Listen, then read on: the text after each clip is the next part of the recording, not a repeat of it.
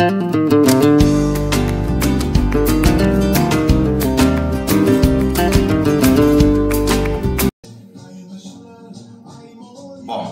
hoje vamos falar um pouco da magia de bloqueio, né? E vamos trabalhar esta magia junto dos ciganos guardiões.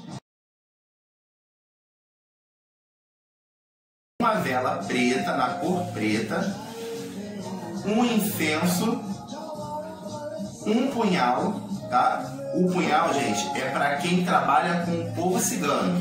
Quem não trabalha com povo, quem não trabalha com o povo cigano, o ideal é ter uma tesoura, tá? Para estar tá colocando dentro da magia, tá?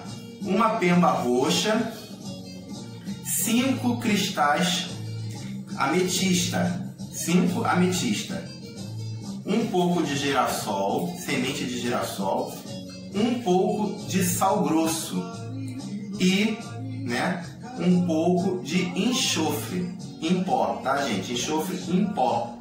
Vocês vão estar tá pegando um prato branco e fazendo com a pemba uma estrela de cinco pontas. Vocês vão fazer uma estrela de cinco pontas com a pemba. Feito isso, na vela, tá? Na vela, para quem tem o punhal, vai escrever o seu pedido. Gente, a gente não vai pedir o mal, não se pede o mal ao próximo. Tudo que a gente joga para o universo, o universo devolve para nós mesmos.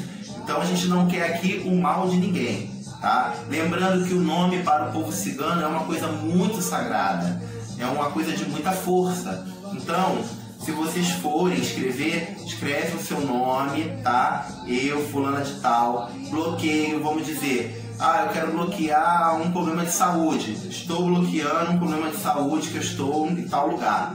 Ah, eu estou tendo confusão no meu trabalho. Estou bloqueando as energias negativas que me afligem, que me faz mal no meu trabalho. É para pedir apenas isso. Não é para pedir o mal para ninguém, tá? Feito isso, vocês vão colocar essa velinha no meio do prato no meio do prato, onde está a estrela, no meio da estrela, tá?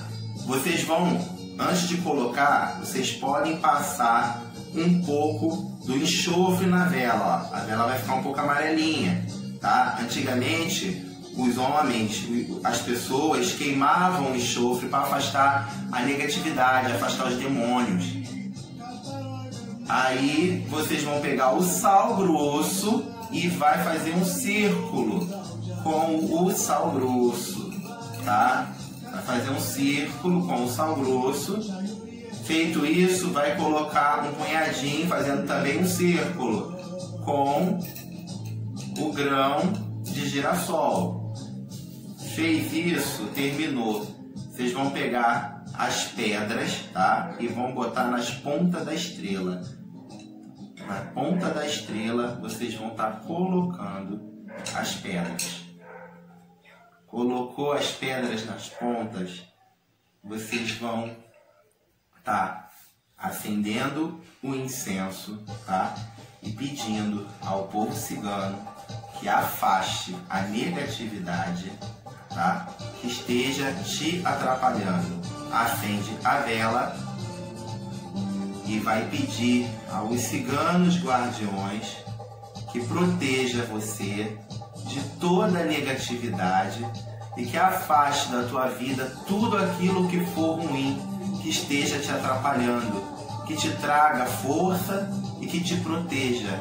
Pegue o punhal, quem tem um punhal, tá, gente? Não é obrigatório. O punhal é para quem trabalha com o povo cigano ou que tem um altar que tem um punhal lá vai fazer pedindo aos ciganos que corte todo o mal da tua vida, vai pegar uma taça com água, que a água representa a purificação, a água representa a vida, a água representa os sentimentos, as emoções, e vai colocar o punhal, para quem tem o punhal, em cima da taça. Para quem vai usar a tesoura, a tesoura aberta em cima da taça. E vai colocar o incenso pedindo aos ciganos. Eu vou deixar embaixo do vídeo para vocês a oração, para vocês fazerem e pedirem aos ciganos guardiões proteção e força para vocês, tá, gente? Muita luz Que o povo cigano, que os guardiões ciganos protejam você de todos os males, afaste a negatividade, a doença, tudo aquilo que venha tentar te atingir na tua caminhada. E seja sempre luz onde houver escuridão. Nunca permita que a escuridão comande vocês. Certo? Optia, salve o povo cigano, salve os ciganos guardiões e salve Santa Sara Cali o nosso Mestre Jesus nos abençoe, nos dê luz em nossos caminhos. Que assim seja e assim será pela eternidade.